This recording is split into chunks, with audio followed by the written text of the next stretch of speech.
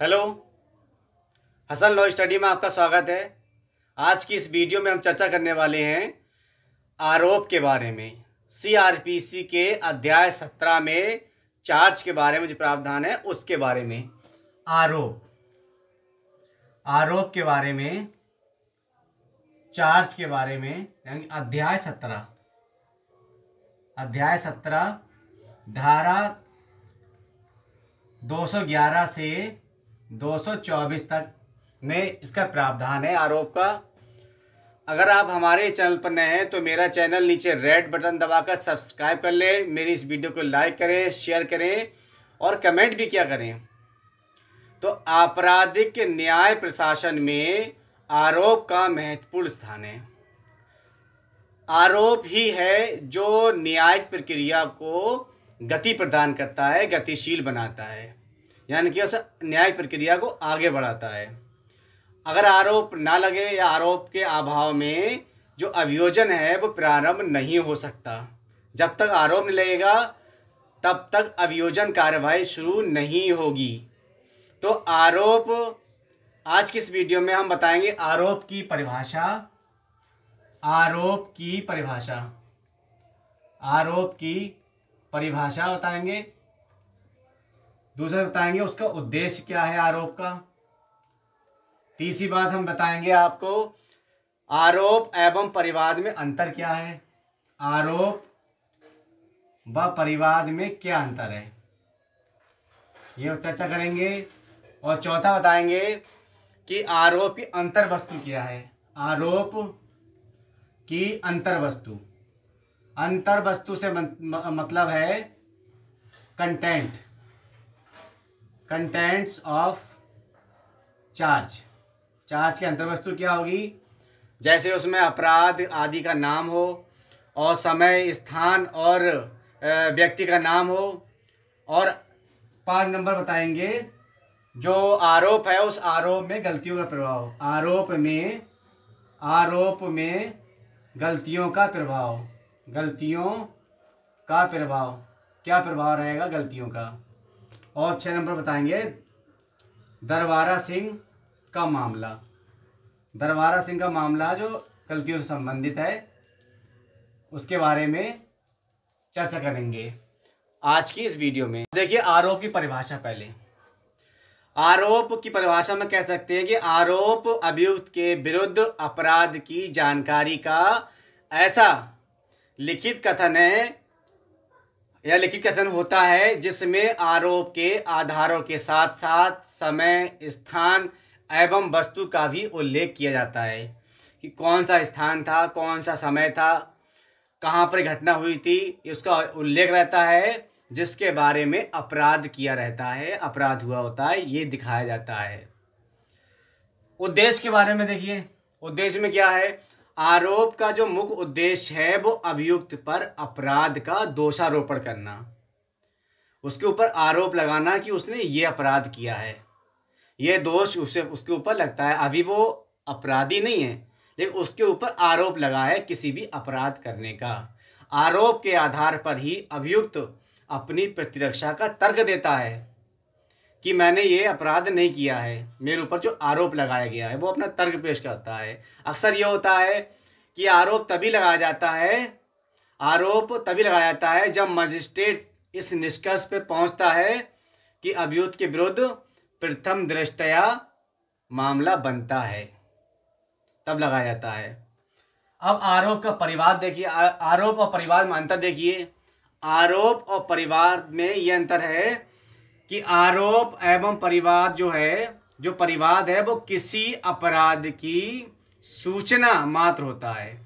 परिवाद सूचना मात्र होता है जिसकी जिसकी जो सत्यता है वो आरोप के रूप में सामने आती है। आरोप जो सॉरी जो सत्यता है वो आरोप के रूप में आ, सामने आती है। अब आरोप के अंतर वस्तु देखिए कंटेंट ऑफ़ चार्ज देखिए आरोप को सावधानी से किया जाना चाहिए। सावधानी बरतनी चाहिए आरोप लगाते समय, क्योंकि आरोप के आधार पर ही अभियुक्त अपनी प्रतिरक्षा लेता है, प्रतिरक्षा का तर्क प्रस्तुत करता है।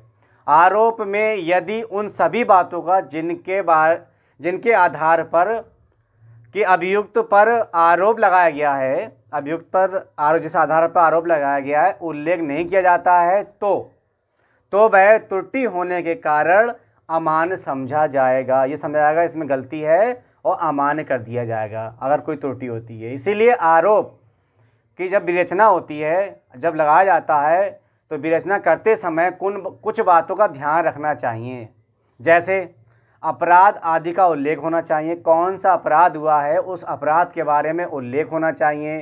प्रत्येक आरोप में उस अपराध का उल्लेख किया जाना आवश्यक है, जिसका अभियुक्त पर आरोप लगाया जा रहा है। जैसे चोरी है, डकैती है, लूट है, बलात्कार है, कोई जो नाम है उसे नाम दिया जाएगा। विधि के अंतर्गत जो उस अपराध का कोई नाम है तो उस नाम को दर्शाया जाएगा। धारा 211 में ये स्पष्ट कर दिया गया है, बताया गया है। यदि ऐसा कोई अपराध है, ऐसा कोई अपराध है, जिसे विधि के अंतर्गत कोई नाम नहीं दिया गया है, और आरोप में उस अपराध की ऐसी परिभाषा दिया जाना आवश्यक है, जिसमें अभियुक्त को आरोप की सूचना मिल जाए। अच्छा आरोप में विधि और विधि की इस धारा का भी उल्लेख किया जाना चाहिए मतलब जो धारा है, उस धारा का भी उल्लेख करना चाहिए, जिसके अंतर्गत कोई अपराध अपराध किया गया होता है, उस धारा का भी उल्लेख होना चाहिए। तो अभी मैंने बताया, उस अपराध का नाम भी होना चाहिए और उस धारा का उल्लेख भी होना चाहिए। आरोप लगाने पर जो समस्त शर्तें होती हैं वो शर्तें भी पूरी होनी चाहिए। अगर शर्तें पूरी नहीं होंगी, तब भी उस पर विपरीत असर पड़ेगा, बुरा असर पड़ेगा। अगर यदि पश्चातवर्ती यानी बाद वाला जो अपराध है, अपराध के लिए अभियुक्त को अगर पूर्व सिद्ध दोष सिद्ध दोष का सहारा लिया जाता है तो उसे आरोप में ऐसे पूर्व दोष सिद्धि, जो पहले दोष सिद्ध हो चुका है, उसका तथ्य, उसकी तिथि और उसका स्थान का उल्लेख करना चाहिए। यानी कि जो दोष बाद में लगा है, अगर उसका आरोप, अपराध कोई किया है, उस पर आरोप लगा हुआ है तो पूर्व अगर दोष सिद्ध हुआ है किसी अपराध के लिए तो उसके तथ्यों के बारे में, उसकी तिथि के बारे में, आदि के बारे में भी उल्लेख किया जाना चाहिए उस आरोप में। एन एन मुखर्जी बनाम उन्नीस सौ उनहत्तर केस है, N N Mukherjee Mukherjee, N N Mukherjee का केस है, उन्नीस सौ उनहत्तर केस है, मुखर्जी है।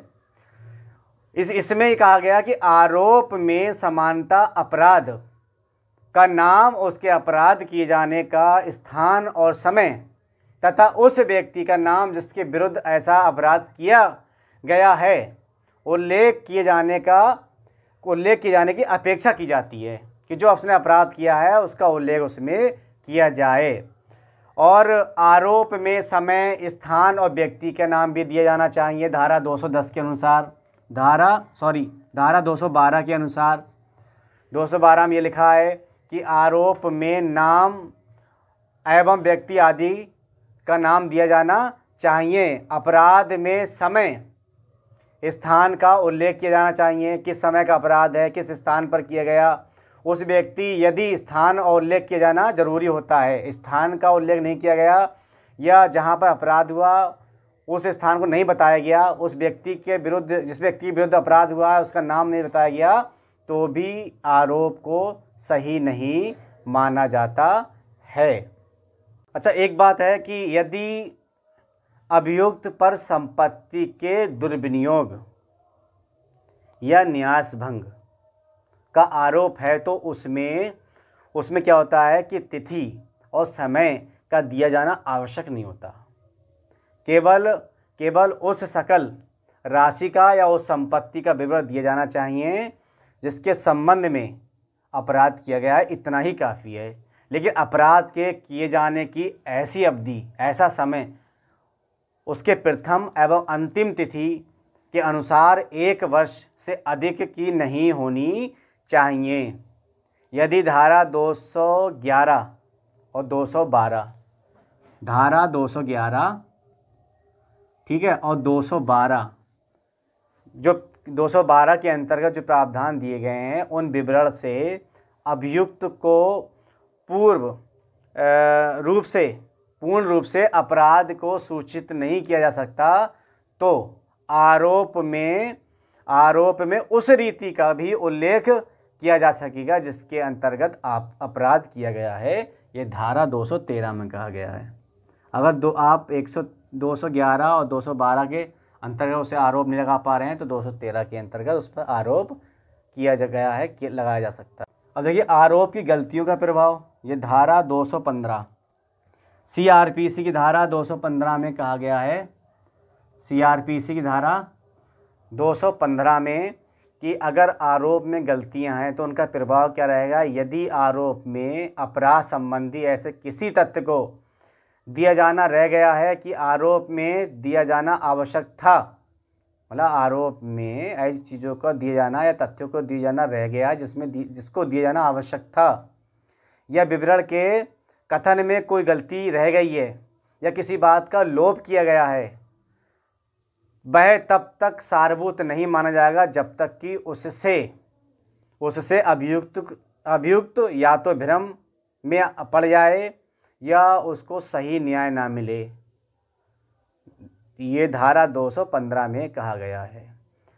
दरबारा सिंह का मामला जो है, सन 2013 का मामला, इसमें क्या क्या क्या कहा गया कि आरोप की विरोचना विरचना में, यानी आरोप जब लगाया जाता है तो उसमें त्रुटि का रह जाना तब तक खतरनाक या घातक नहीं माना जा सकता जब तक कि न्याय विफल नहीं होता। अगर न्याय विफल होता है, तब खतरनाक है।